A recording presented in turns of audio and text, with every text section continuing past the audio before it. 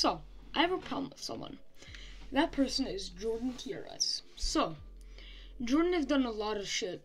People accuse him of doxing someone, he's stolen levels and tried to pass them on as remakes. Those levels are a Lemons layout, a Ado, and Glide, which he called Fireflies. And as I've said, he's one of the worst people in the community, at least in my opinion.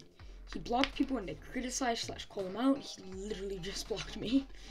He takes everything too far, and he's just an alright asshole. I don't think someone is worse than Jordan. He needs to learn how to take criticism slash jokes and not get pissed off and block people or go dark. Speaking of going dark, Jordan made a post which is controversial, and instead of taking it face on, he goes dark on Twitter and Discord. He blocks people and goes dark, as always. Um, Jordan is a perfect example of how not uh, to have people meme you. Instead of taking it on, you know, instead of taking it, he goes dark and continues to do the same.